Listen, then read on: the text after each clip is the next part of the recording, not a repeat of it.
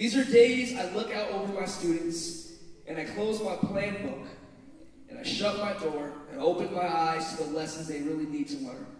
No matter what the Common Core deems worthy of my curriculum, these students deserve celebration. Come join me and see why.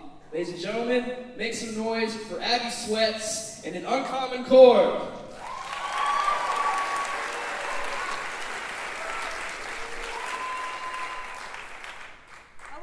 My class. We've been on quite a journey this year. Mayingen asks to read a poem, and it is not what I expect. See, Mayingen is a new student. She stands in a slouch as if afraid to take up too much space, but also she is a poet.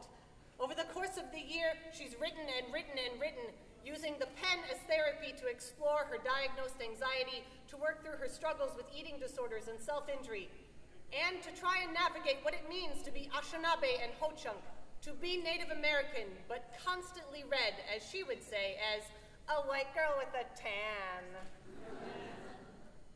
But this time, instead of poetry as self-exploration, Mayingen turned the mirror onto the rest of us for a stinging indictment of American culture. Welcome to the 21st century, a world of positivity and viral videos. Welcome to the 21st century, a world where the words racism, sexism, homophobia, and transphobia are met with the words, what are those?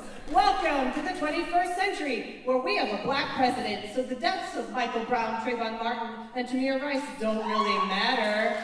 Welcome to the 21st century. Caitlyn Jenner is loud and proud, so Leelah Alcorn's suicide note is better left forgotten. Welcome to the 21st century. We have plus-sized models now, so every 13 minutes when someone in America commits suicide, it's definitely not because of their body image. Welcome to the 21st century, where all your problems can be wiped away with one stroke and a smile. Welcome to the 21st century, where your problems are pushed aside, dismissed, ignored, not acknowledged. Welcome to the 21st century. We hope you enjoy your stay. Hold up, hold up.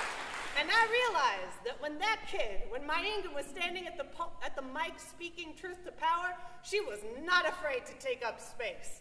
And as fucked up as American culture was, she'd be 18 in five years, and she, along with the rest of the students in this room, were gonna fix it. Keep it going, everyone.